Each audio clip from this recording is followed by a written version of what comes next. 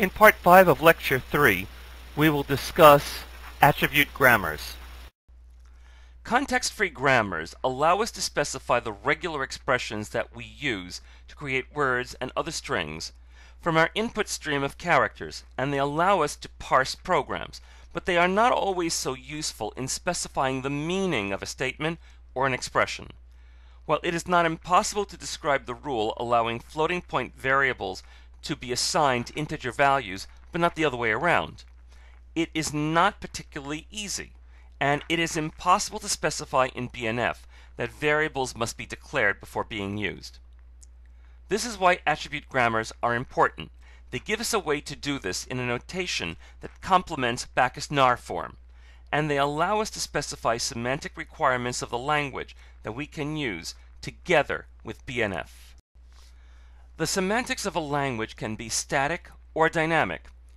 Which we have depends on whether the meaning of program components change at runtime.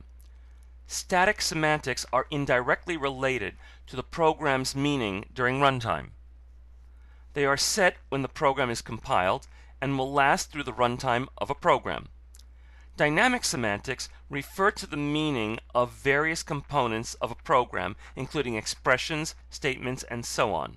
In some languages such as Lisp and Scheme, it is impossible to check the meaning of certain program components at compile time because they are either set at runtime or can be changed then.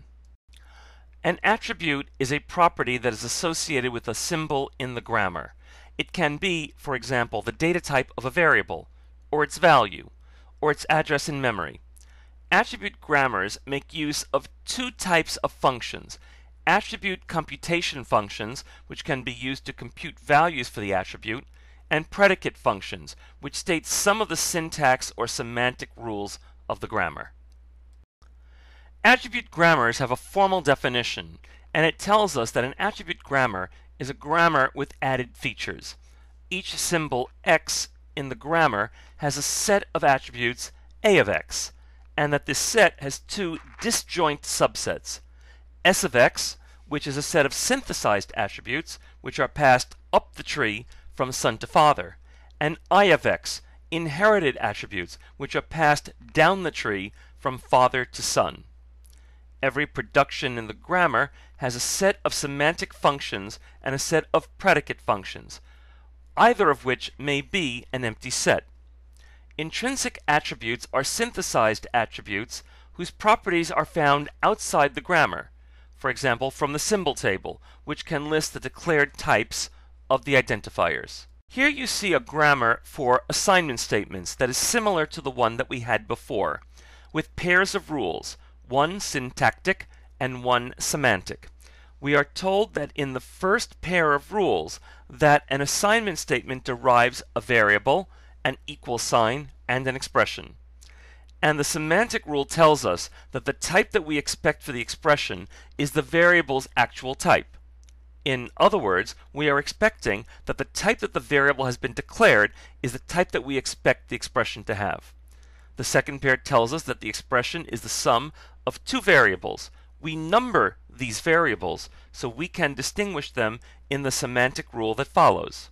The semantic rule tells us that if they are both of the type integer, then the actual type of the expression is integer. Otherwise, it is real.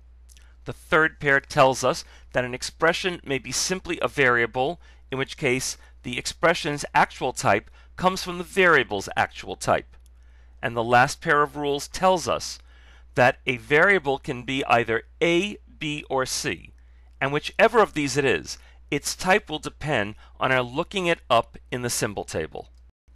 This is the parse tree for the expression A equals A plus B.